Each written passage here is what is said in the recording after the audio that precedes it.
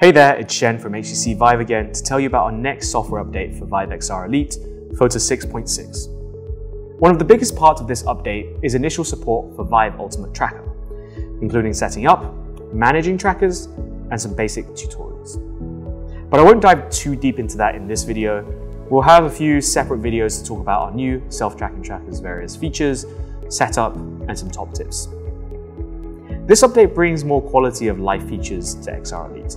First off, by request within our community, we've added additional device settings into the quick menu, the simple menu which pops up when you click the buy button. This will now allow you to easily edit controller pairings and toggle hand tracking without having to dive into the headset settings each time. With the Vive Ultimate Tracker, it will now show device statuses there too. Secondly, you will now see your two most recently used apps or games within the quick menu. If you're someone who generally cycles through the same few titles, this will make it even easier to hop around. Another new feature inside the quick menu, we've also added a new casting option. Previously, you could cast to your phone or a Miracast display. We've now added the ability to cast to a web browser.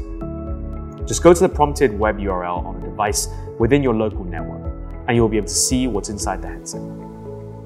And casting, screen recordings, and screenshots will now be more centered, rather than being veered off to one side from the point of view of one eye. Lastly, we've recently released a beta for Vive Desk, our spatial computing application. You're able to get up to three virtual desktops from your PC to a mixed reality environment, with low latency mouse interactions that can extend into the interface of the headset, and automatic privacy mode for your physical display, so no one can snoop on what you're doing. The beta is currently only available for Windows devices. Head over to our blog linked in the description to learn more and get started. You should now see FOTA 6.6 available in the software update section of your headset settings. We've listed out more details about the update on our release notes page, where you can also find information on our previous updates. As always, we'd love to get feedback on FOTA 6.6. A few of the features in this update come from suggestions within our community, so we want to hear what else you'd like to see in the future.